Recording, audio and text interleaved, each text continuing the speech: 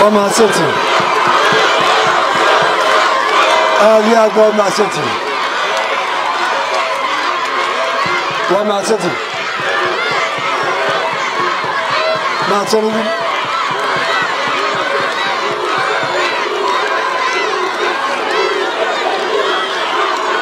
waa mahadsantihin waa mahadsantihin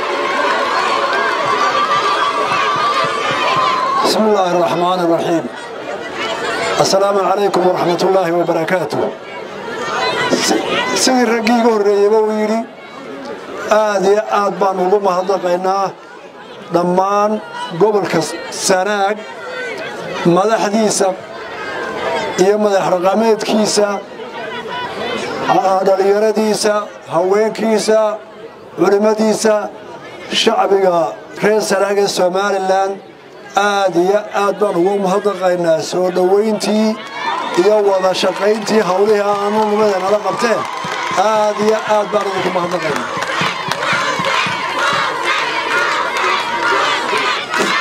Waa hawshii aanu halkaan nimid sidii aad noola tabantaabiseen. Ee dhammaantiin u soo dhowayseenna waannu idinka mahadnaqaynaa. Waxaanu ku soconay sidaa la sheegay qarankii somalilan intiisii badnayd oo maanta halkan joogta xukuumaddii wasiirro badan oo ilaa toban ku dhow iyo labadii gole baarlamaan iyo guurtiba way wada joogaan markaa ma suurto gelayso in halkan laga wada hadlo dabeetana saddexda gole saddexdooda odayba u hadlaya golaha baarlamaankana cabdirasaaq baa u hadlay golaha guurtana saleyan baa u hadlayey xukuumaddana u hadlaya qaranka guur ahaanba saasaan idinku soo koobay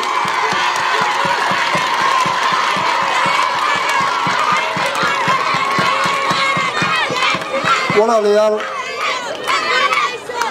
laba saddex qodoo gaagaaban baan ka hadlaya socdaalkii halkan aanu mid waa la sheegay horena waanu u sheegnay gobolka sanaag oo miisaankiisa kule qaranka dal ahaan iyo dad ahaanba inay dowladdoo dhammi soo siyaarato oo markii horena jidkuna xumaan garoonna aan lahayn. Mar hadday waddadiina inoo dhammaatay garoonkiina inoo shaqaynayno dhammaystiri doonno inaynu isku xidhnaanno gobolkii u ballaadhnaa la soo qasab bay noqotay. Oy dowladdiina idiin furto waddadii oo bilaabantay iyo garoonkiiba saasay somalilan isu dhex gashay oo ilaa galbeed iyo baran idinku imanayaa diyaargarooba. Oo u diyaargarooba somalilan dhowna idiin soo socoto oo idin siyaadata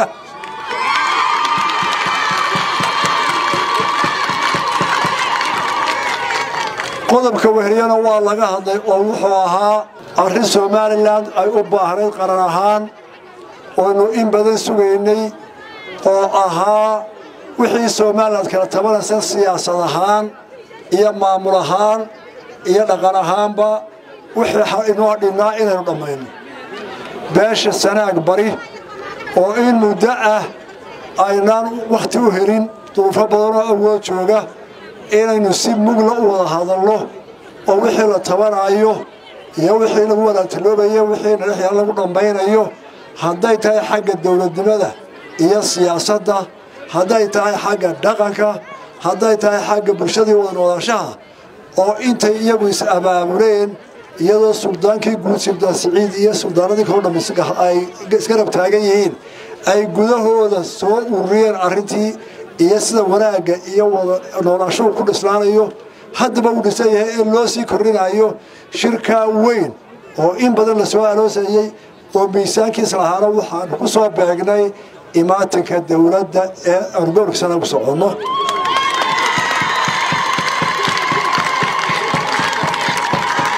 Sidaa la sheegay haddii aanu is aragnay suldaankii guud iyo salaadiintii iyo cuqaashii siyaasiyiintii waxgaradkii beesha sanaag bari waxaa ilaahay mahadiya dhowrkii cisho ee aanu joognay saacado badan oo la shaqeeyey oo ay ka qayb qaateen waxgaradka gobolka sanaag ee beelaha kalena wuxuu ku soo dhammaaday is-afgarad iyo guul.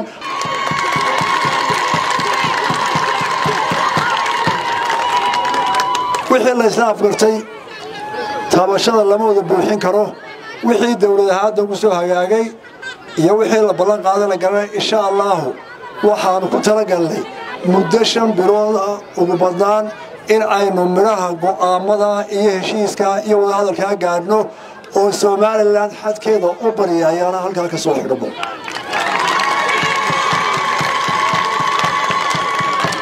Aad iyo aad baan ugu mahadnaqaynaa. Beesha sanaag sudaankooda guud sanaadiintooda shacbigooda iyo dadkooda sida wacan wacan ay arrintaa noola qabteen ay u soo diyaargaroobeen xaggooda. Iyagoo waxay tabanayaan waxay doonayaan caddeedye aanu ka garowsannay intii aanu karayno inaynu isku afgarannay. Aad iyo aad baan u soo dhoweynaynaa.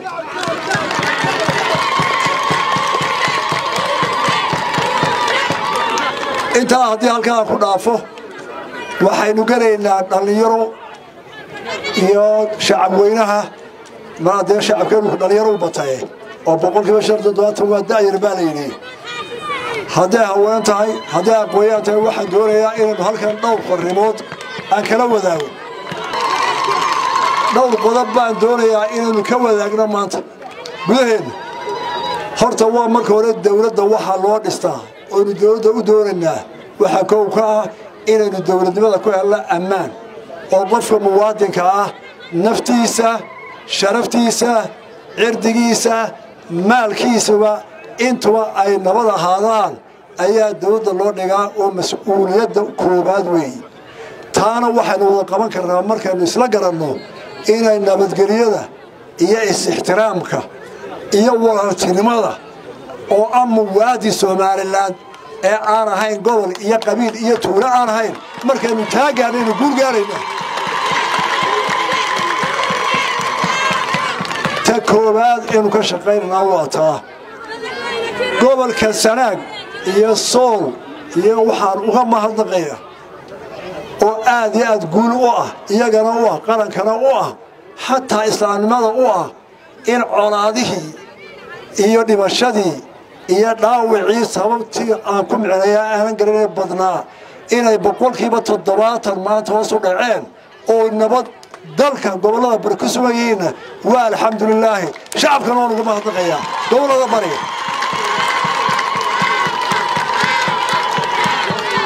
Mahaddaa waxa leh oo nagu garab galay dhammaan shacbiga gobollada ay ka socdeen rabshaduhu ama shaqaaqooyinku inta hadhayna waynu isugu tegaynaa waan dhammaynaynaa waxaa hawshaasi xooggeedu ku dhacday dadka waayeelka ah rag iyo dumar ee waxgaradka ah ama culimo ha ahaado madax dhaqameed ha ahaado baacmushtar ha ahaado aqoon-yahan ha ahaado.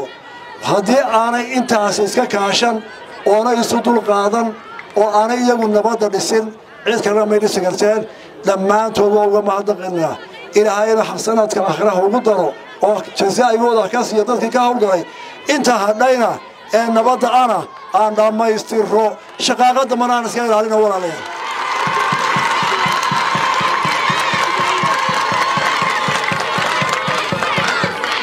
nabadda maxaynu uga baahannahay. Nabadda innagaa ku noola iyadoo inaguma noola. Dhammaantiin waxaynu ogsoonnahay oo reer sanaagow aad ka dheragsan tihiin oo aan idinku haysan laydinku markhaati furaa inaad tihiin gobolka ugu weyn gobollada somalilan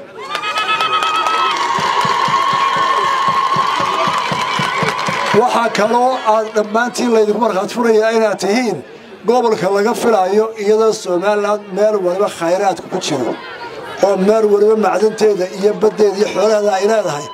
Haddana waxaynu iminka isla wada dirsannahay in khayraadka ku jira gobolka sanaag iyo sool uu ka dhow yahay kuwa gobollada kale ku jira oo waxaynu aragnaa dahabkii oo cershida laga guraayo buuraha agteyna oo dibadda yaalla.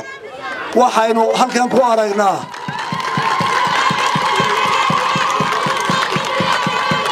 waxaynu ku aragnaa batroolkii oo dibadda yaalla hadday sool tahay iyo hadday sanaag tahay iyo hadday caynabo tahay reer sanaagow iyo gobollada barigow haddana waxaad tidhaahdaa marka la doodayo ee lala hadlaayo gobolladani way dambeeyaan gobollada way ka hadheen xaashaa kalla isma qabato.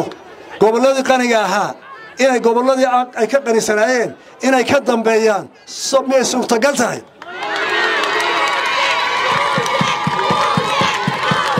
Mashkaladaasaynu doonaynaa inaynu xallinno oo ah nabaddaa koowa si aynu is-aaminaadda iyo isdhexgalka iyo wax wada qabsashada ayaa laba ka ah. Innagoo midaysan oy somalilandna idinla mid tahay baynu dalkeenna ka soo saaraynaa wixii khayraada dabeetana waxaynu doonaynaa labaatanka sane ee soo socda ama shan iyo tobanka sane ee soo socda inay sanaag abudabay iyo jidda iyo riyaadba ka horumarto waayo kala macdan yarin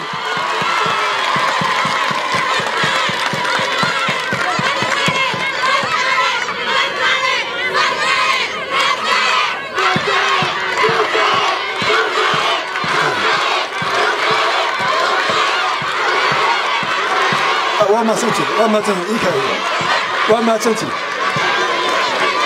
walaalayaal ii kaadiya soomaaliya xoolaha jooga oo abaartu iminkaa naafaysee waxaa laga yaabaa in qofkiiba neef ama laba ku soo hagaagto dalka haddaynu eegno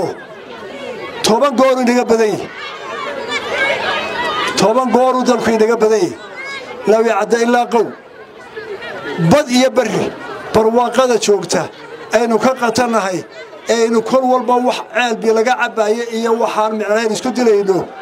Ee carruurteennu aanay mustaqbalkula inay ka tahribayso haddaynu caqligaa isu geynonu dalkeenna inagu tacab ugu dhaqaaqna inagoo mida waxaa hubaana in qaaradaha adduunkao dhamme inoo soo shaqo tegayaan oo aynu karaamo ku yeelanno qof waliba aynu naga haybadaysto. Intaasuun baynu doonaynaa inaynu qabsanno mustaqbalka dhow oonu tallaabada u qaadno intaa waxaan ka odhanayaa mustaqbalkeennu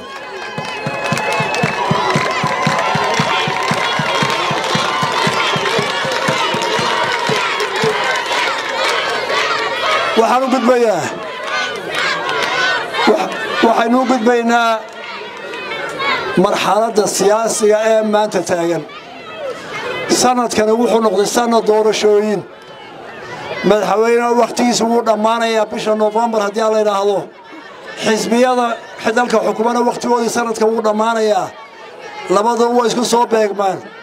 Labadaba in la doorto oo la beddelaa la doonaya walaalayaal xisbiyada qaranka xisbiyada qaranka labada erey loo kala bixiyey mucaarid iyo muxaafid laba ereyoo cola maaha muxaafid iyo mucaarid waa laba magacoo walaala. Ah xisbiyada mid waliba codkii dadkuu sidaa ka u badan unbaa laydhaha hoggaami kuwa kalena waa kalkaalayaashiisii waa toosinayaan haddaba waxaynu leenahay markay xisbiyadu tartamayaan markay xamaasadda siyaasaddu jirto dhallinyarow waxaanu nagu dardaarayaa dadka waayeelka ee xisbiyaduna hadallada ay ka tabinayaan sochial mediaha waa inay noqdon qaar aan dadka fidmo ku abuurin waa inaanay noqon qaar waxyeeleeya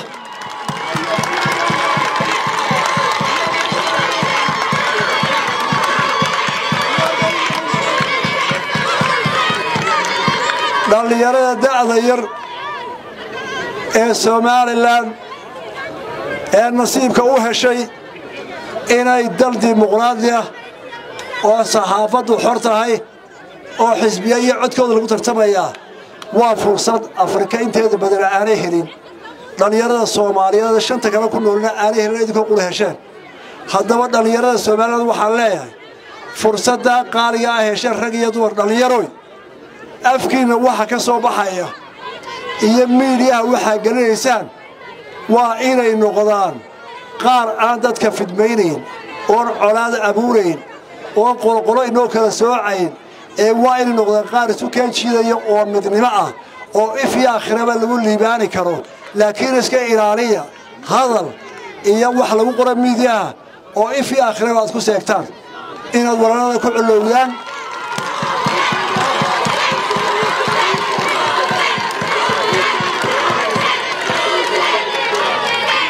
hadalka miidiyaha la marinaya dalka ruwaande ay maqasheen ee la yidhaahdo malyuun buu toban cisho iska dilay. Iyo dal kastoo balaa ka dhacda. Waxaa abuuraa waxaa idaacadaha iyo miidiyaha ka baxa oo dadka dhegahooda gala oo lagu colaysiyo la xaafadaasi way nala col. Taasi innaga inoo jeedaa. Ta kalena intaa ay qaadato oo dadkiiba isdilaan iyagoon isrumaysanin miidiyaha laga ilaaliyo waxyaalaha ummadda xumaanta ka dhex shaqaynaya. Ha loo rogo wax khayr leh.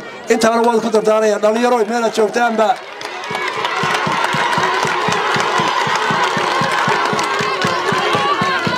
haddaan dhallinyarada intaa idhi waa yeelka oo madaxda xisbiyada ugu horreeyaan oo ay madaxda dowladda ugu horreeyaan iyagana waxaa laga rabaa dadka hadalkoodu inuu noqdo mid khayr leh eenu noqonin mid fidmo ka dhex abuuraya.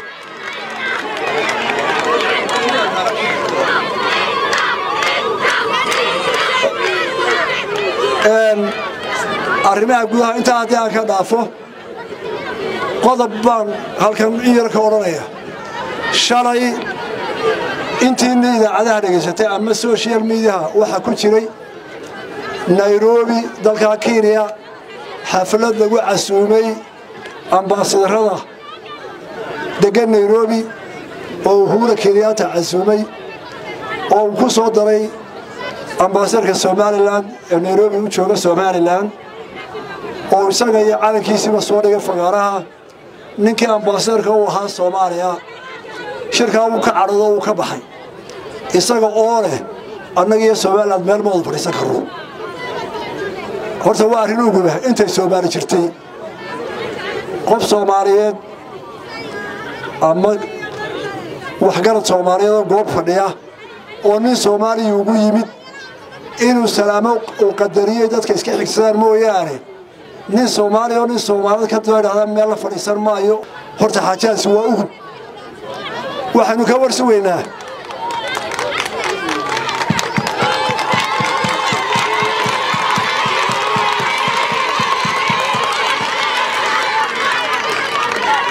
Walaalayaal arrintaasi micnaha ay leedahay iyo halka ay daaran tahay iminka ka hadli maayo waxaase leeyahay soomaaliya in badan in badan waxay tidhaahdaa walaalayaal kala go'a kalolushaa dhantay ayaynaan kala tegin walaalayaal waa idin jecellahay ma kala maaranno aynu wada hadalno isu keenkeena innagu waynu aqballayoo dhowr iyo toban shir baynu la gallay waayahay aan wada hadalno waxaanama soo kordhiyaan. Haddase ninkaa safiirka wuxuu keenay annagii somalilan meel isugu iman mayno waxaan ka wargu sugayaa dowladda xamar iyo soomaaliya siday arrintaa waxay kaga jawaabaan. Markaan taa ogaado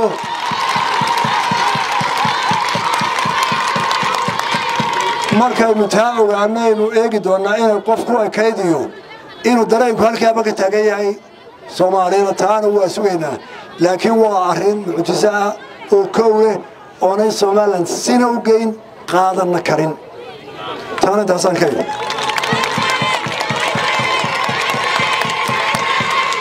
waxaan ku soo koobayaa mar labaad baanu idinku celinaa mahadnaqaa ilaahay idinkii waxaynu rajaynaynaa xisbiyada oo si walaalnimo ah oon cunfi lahayn wadagala doorashooyinka xisbiyada oo kantaroole hadalladooda. Dadka shicibka oo ka codsanayo siyaasaddu waa kubadda ciyaarayo. Ha ugu colloobina qabiil qabiil. Ha ugu colloobina xaafad xaafad. Dhallinyaray waxaasi waa gardaro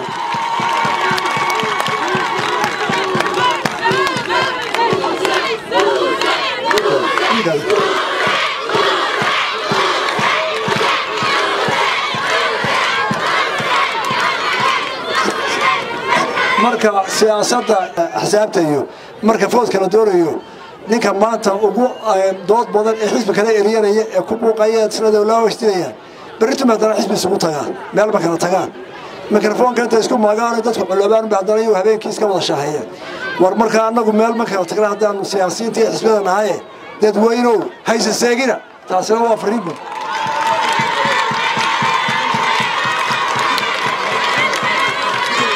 aad iyo aad baa u mahadsan tihiin. Waa isu soo ducaynaynaa waanu idin mahadnaqaynaa idina waa noo soo ducaynaysaan. Waa mahadsantihiin wasalaamu calaykum hadal oo hadal oo hadal. Oo ku hadal. Bishii oo dhan toddoba dollar. oo keliya. Ku darso fariin kasta oo aad dirtaana waa kuu bilaash. Haddaba si aad ugu shubato adeega kaafiye fadlan garaac xidig siddeed eber siddeed afargees ama xidig laba eber laba afargees. Isticmaal shabakadda ugu ballaadhan geyga somalilan